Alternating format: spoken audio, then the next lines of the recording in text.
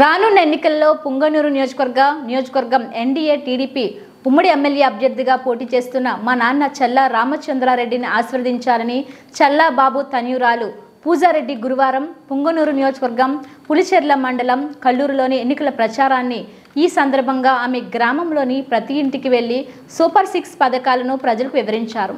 ఎన్నికల ప్రచారానికి వెళ్ళిన ఆమెకు స్థానిక నాయకులు కార్యకర్తలు ఘన స్వాగతం పలికారు.